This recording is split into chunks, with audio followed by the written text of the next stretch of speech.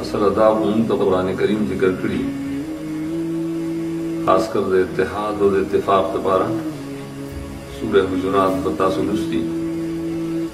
پس هغه آداب حقیقت کې پوره دي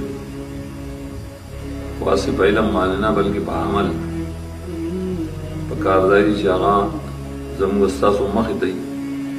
هر سهار او ماښام باید سوچ کوو چې په دې باندې موږ عمل کوو که نه کوو چې پای کې اولنې اصل هغه دا دی چې لا تقدمو بین یدی الله او رسول یا الذین آمنو خطاب دی یعنی که طلبایي او که علمایي که عوامي که نارینه او که زنانه خو په دې شرط چې ایمان پکې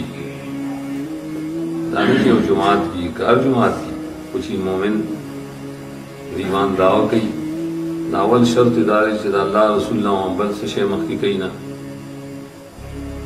په نږدې کې تاسو اورېدلي مقصد دا دی چې الله او رسول خبره شته موجود ده په نږدې د وجود او حضور د بار راځي که قرآن نه وی سنت نه وی د ټیک د هر چا خپله خوښه دی چا پسې تللی نه تلل به هرکه چې الله فرمایي چې قرآن کریم شته د هغې شرح حدیث د نبی صلی الله علیه وسلم شته د دې نه یو شی مخکې کول چې پلانکي مولوي صاحب ویلي پلانکي شیخ صاحب ویلي پلانکي امام ویلي پلانکي کتاب کې لیکلي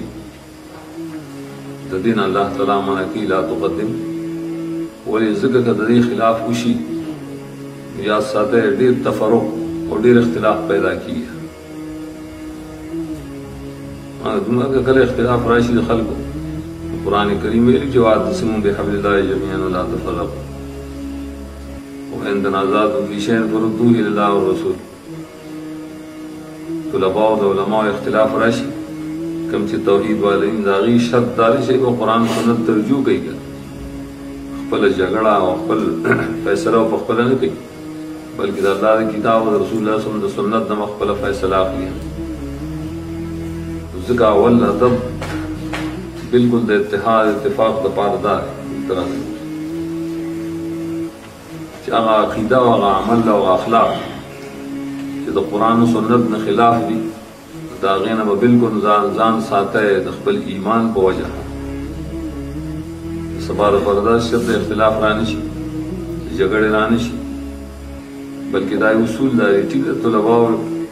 که چرته اختلاف په مسله راشي